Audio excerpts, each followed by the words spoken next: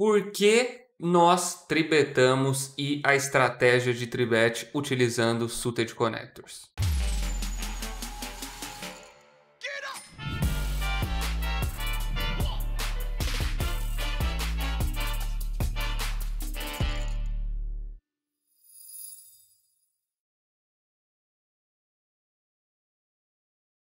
Fala galera, foi Sorte 23 na área, chegando para mais um vídeo. Para quem não me conhece, sou jogador profissional de poker há 8 anos, já treinei mais de 400 jogadores. E se você já é um inscrito aqui do canal, tamo junto, bora chegar para mais um vídeo. Se você chegou hoje, corre, se inscreve aqui, só clicando no botão abaixo, clica no sininho aí, faz o que tiver que fazer para receber as notificações. Tô soltando um vídeo todo dia às 19 horas. Beleza? Antes da gente começar esse tema que é muito importante, ele vive acontecendo nas mesas e a galera tem um bloqueio sobre isso, tem um bloqueio sobre jogar pode tribetado, tem um bloqueio sobre tribetar. Queria agradecer nosso patrocinador, a Bets Créditos. Então, precisou de fichas no PS, no GG, no Party, nos aplicativos, seja em que site, para pós-esportivo, Sportsbet.io, o link vai estar tá aqui na descrição do vídeo original do YouTube. Beleza? Então, assim, bora começar e é importante já dar aquele choque,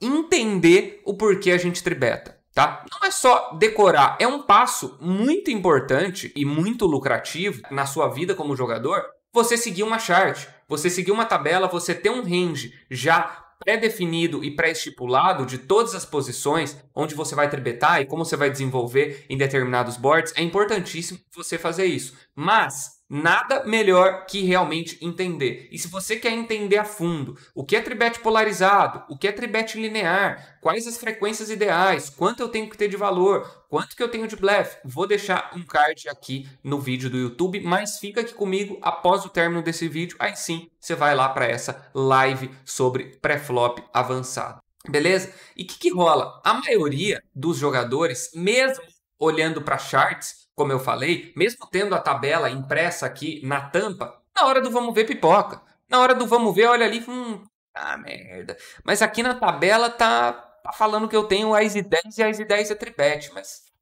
ninguém vai ver mesmo. Vou dar call com esse IZ 10. Ah, você tá se enganando. Se a parada tá falando que é tribete, tribete tá porra da mão. Caralho, cuzão. Não tem pra onde correr. E é o que rola com vocês que eu recebo um monte de feedback. Ah, eu vou muito bem no começo do torneio. Eu entro em ITM toda vez. Mentira. ITM toda vez. Jogador pica aí tem 20%, 25% de ITM no máximo, de 15 a 20, vai. Então, assim, parece que você entra toda vez, parece que você joga muito bem early game, às vezes tem muitos erros para corrigir nessa etapa, mas não é nem o que eu vou falar hoje. Mas falando um erro de late game, é isso. É que a parada aqui, ó, eu já gravei esse vídeo, eu tentei falar essa frase umas cinco vezes, vamos ver se ela sai de primeira agora. O medo de ganhar tira a vontade de perder. Errou! Errei. Errei, velho. O medo de ganhar. Então o cara tem medo de ganhar. Tira. Não. Você é burro, cara. Que loucura. O medo de perder, porra. O medo de perder tira a vontade de ganhar. É isso. Então, cara, não seja esse bunda mole, já cansei de falar isso nos vídeos. Porque é ABC, simples, fácil, não, não tem um segredo, não tem uma fórmula. É fazer o simples, é fazer o que funciona, é fazer o que pessoas melhores que você estão falando para você fazer, sem inventar, sem ter medo. Eu também tenho medo de chovar uma parada lá na Blind War, você acha que não? É claro ficar com medo mesmo, tá? Não tem o que fazer. Então, assim, o objetivo desse vídeo, a grosso modo, além de trazer um insight sobre Tribet, uma teoria, uma parada rápida de fácil entendimento, é que vocês comecem a tribetar suited connectors quando estiverem deep do Big Blind. Esse é o spot que eu vou falar hoje. E eu faço questão de falar tintim por tintim, porque também há muita confusão de preguiçosos que ouvem o vídeo, sei lá, se no 2x e faz metade da parada. Ah, mas não é para CBetar em posição sempre? Eu também tô, tô CBetando fora de posição, achei que é a mesma coisa. Não, tô falando só desse spot. E esses são 100 blinds deep, tá? O insight que você pode pegar é você entender se aplicar para sua realidade. Pô, tô com 50 blinds, será que isso se aplica? Tô com 300, será que isso aplica? Tô com 30, com 30 não vai se aplicar, tá? Com 30 não tem EV você tribetar um suited connector, já te adianto. E segue a chart e entende, e é isso. Então, basicamente, quando a gente tá no Big Blind com. Deixa eu abrir minha chartzinha aqui, que eu já fechei. Então, basicamente, quando a gente tá do Big Blind com suited connector contra botão, por exemplo, a gente tem duas decisões para fazer, tá? Call. Ia falar fold, você ia cair nessa, hein? É mentira! Call e tribet. A gente nunca vai foldar esse tipo de mão. É uma mão muito forte ali. A gente pensar que a gente vai defender em cash, sei lá, 40% do Big Blind, em MTT 55, 60, cara, não tem um mundo que 6 e 5 suited fique fora da parada, sabe? Ele 100% das vezes ele vai estar tá dentro. Então, essa aqui vai ser o nosso range de Big Blind contra botão sem Big Blinds Deep. Então a gente vê que tem o topo e aí tem umas mãos um pouco mais fracas. Os suited connectors aqui, eles estão muito presentes, quase que 100%, tá? Esse amarelo mais escuro é uma frequência alta. E quando a gente pega agora um outro range contra MP, por exemplo, cadê o range contra MP? Esse é o range contra MP. Quando a gente pega esse range aqui contra MP, a gente já vê que ele some um pouco, tá? Agora a gente tribeta ele metade das vezes. A gente continua tribetando bastante o topo, mas tribeta ele aí numa frequência um pouco menor. E aí a gente vai ver aqui agora na prática com o Equilab o porquê que a gente faz isso, porquê que a gente deve fazer isso, tá? Mas antes eu queria terminar de falar algumas coisas para vocês do porquê de fato a gente tribeta, que foi uma pergunta que eu fiz lá no começo do vídeo. Cara, primeiro, que a gente vai tribetar sempre por valor. Porque a gente tem uma mão que domina. A gente tem uma mão melhor que a média das mãos que o nosso adversário está jogando daquela posição. A não ser que a gente tenha as eyes. Se a gente tem as eyes, a gente tem certeza que a gente tem a melhor mão do jogo antes de bater o flop. Então, é muito fácil você trebetar as eyes. É muito fácil você trebetar por valor. Pô, fácil demais. É fácil pedir truco quando você tem zap 7 de copas. Quero ver você pedir com uma dama ali. É verdade. Então, é basicamente isso. Então, qual que é o EV qual que é o ganho que você tem de adicionar mãos de blefe? Eu vou falar um pouco mais disso na live, que eu deixei o card ali no começo do vídeo, mas também vou falar agora um motivo muito easy, muito fácil de ser compreendido, que é balancear o nosso range e para enganar o nosso adversário, a grosso modo é isso que vai rolar. A gente vai tribetar por valor, a gente vai tribetar por blefe e o blefe não vai trazer o dinheiro imediatamente na nossa mão. Não vai acontecer isso, eu não vou mentir para vocês.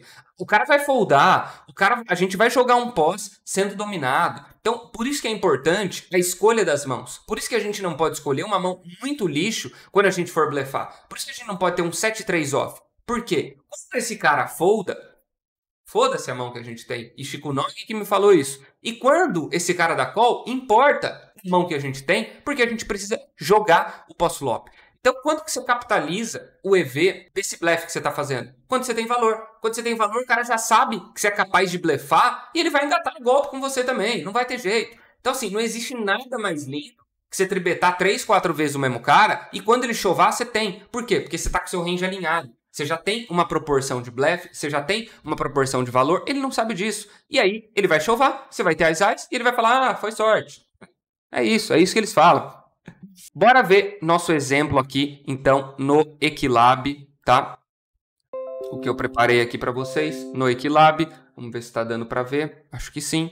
Então, bom, bora lá. Pensando em tudo que foi dito hoje, tá? Vamos colocar aqui que nós temos 6 e 5 suited e a gente está jogando contra um range de open nesses stacks que eu falei de botão, tá? Então o cara vai abrir isso, tá? Do botão. A gente com 6 e 5 suited contra esse range dele, ele vai ter 61, a gente vai ter 38. Legal? Até aí tranquilo? Temos 38% de equidade.